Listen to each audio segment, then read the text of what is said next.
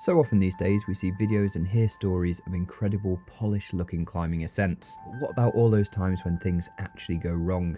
Like really wrong. My guest today and I have memories and footage of climbs that haven't gone to plan and left us both in serious situations. In this video we focus not on the successes of climbing but on the failures. I imagine the Peak District Gritstone holds many hidden stories of fear, groundfalls, and success. The stories and the climbers are what build the history and reputation of an area over many years.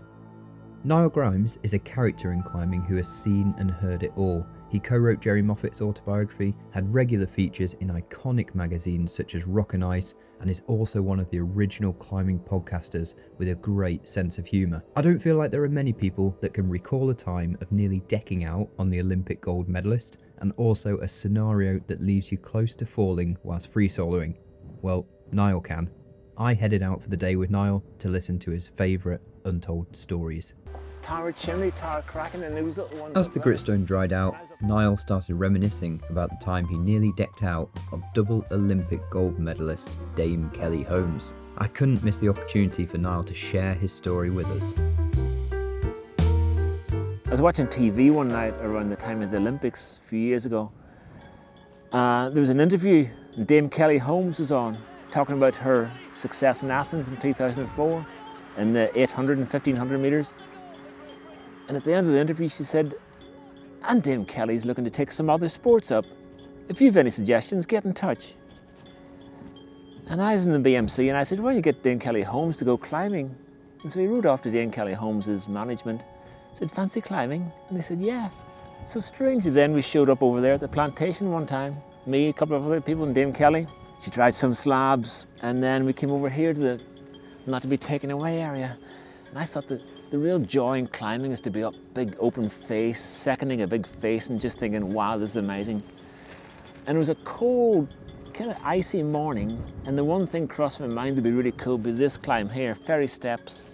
Fairy Steps is really, really easy climbing, but it's very exposed. You think, God, just what a journey that'll be. Also, at this point, ITV showed up and they wanted to record an interview with her. And if you've noticed, TV comes and takes over. So TV took over. And meanwhile, Dame Kelly Holmes was to belay me, and I set off up uh, Fairy Steps with the rope. Really easy climbing, done it so many times. Not this morning.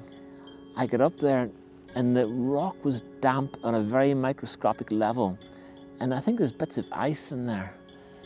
And in this terrain that I thought was more or less walking, I kind of found myself fighting for my life. I was pressed in against the rock so close, my foot on the ledge, and I was literally just scraping down the grit to try and get my fingernails to catch on anything, anything that I could use to get my body up. And I was there waiting and I was trying and trying. And I was literally fighting for my life up there. And at one point I looked down and directly beneath me was Dame Kelly Holmes and the camera crew. I thought, I'm going to fall off here and land in Dame Kelly Holmes more worried about myself than for her, but with some concern for her. And I just clawed. When I tell the story now, sometimes you exaggerate, but as I tell that story, I can feel my body, I can feel the memory of my body of fighting for my life on the claws, claws of particles of gritstone on that really cold, icy morning. The last time I was clawing at gritstone was actually very recently, when I found myself trying to on-site escape off a new E8 and really making a total mess of it.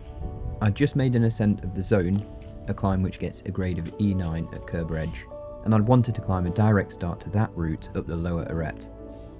The zone had felt easy, in control and smooth. In a way, I rushed getting on the lead of the new route. Having climbed many bold headpoints, I've learned that this is one of the biggest mistakes you can make. Never rush a head point, especially if it has a little bit of spice to it, which this one did.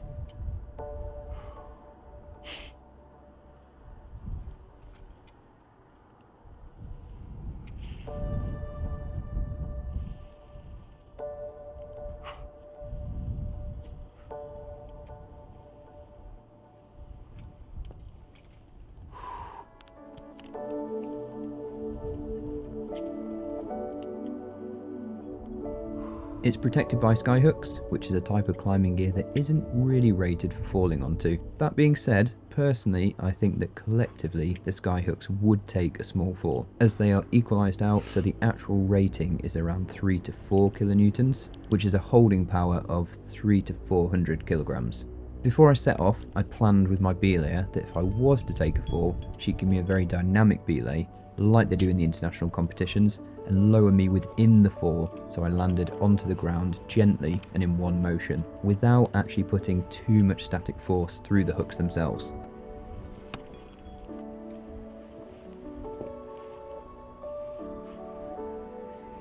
I place the hooks at mid-height and use a thin rope to tie down the hooks so that they have less chance of swinging off the placements if I was to take a sideways fall from the arete.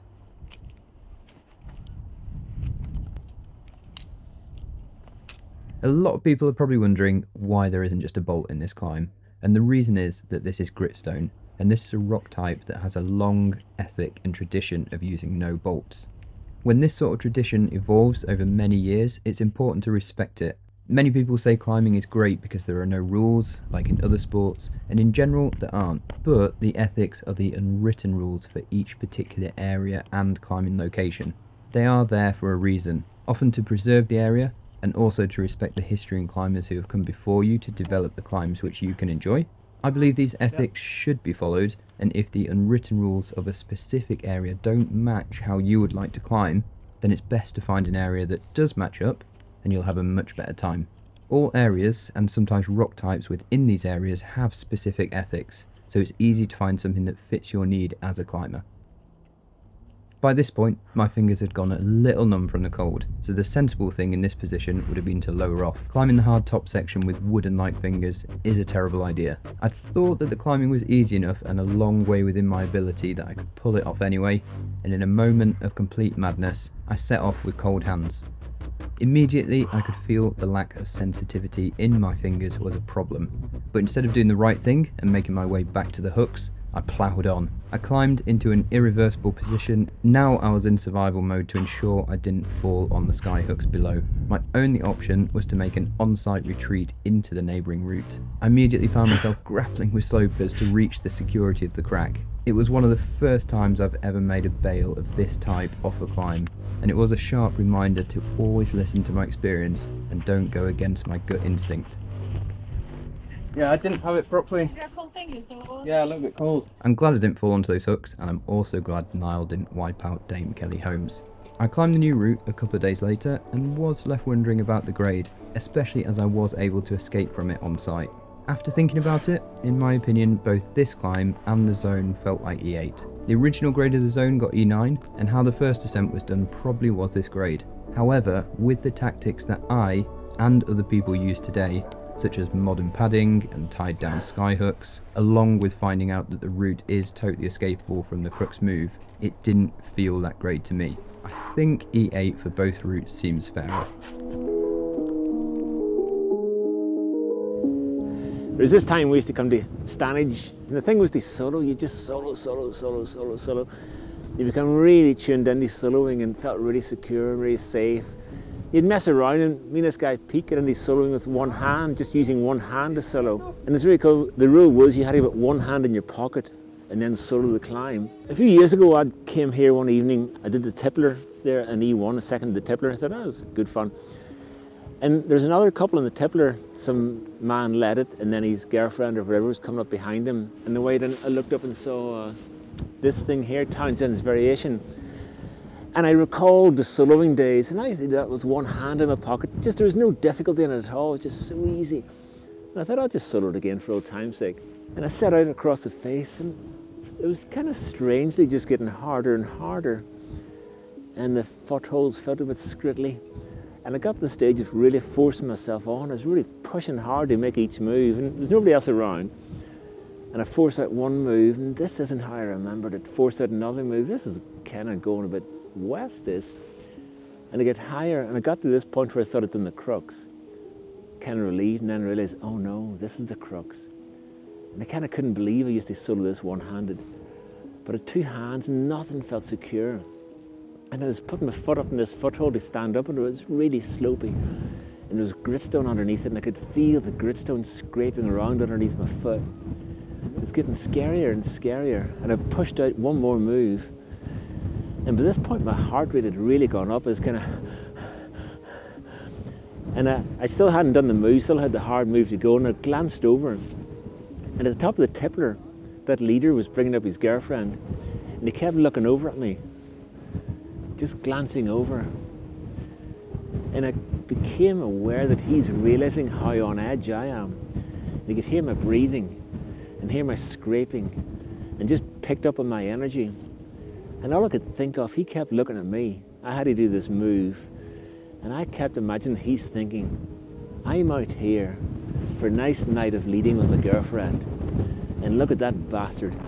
He's going to fall off and ruin the entire evening.